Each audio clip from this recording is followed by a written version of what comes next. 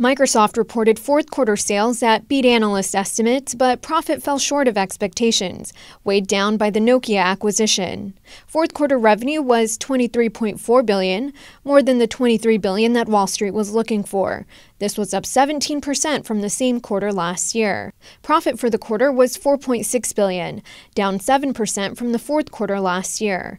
Earnings per share were 55 cents, less than the 60 cents a share that analysts were expecting. Microsoft said that the Nokia acquisition brought down earnings per share by 8 cents. Strong sales of cloud products to businesses helped lift Microsoft's revenue, with commercial cloud revenue doubling year over year to a 4.4 billion annual run rate. The company is switching its focus to selling more cloud services and away from on-premise software. The devices and consumer division grew its sales by 42% year over year to almost 3 billion.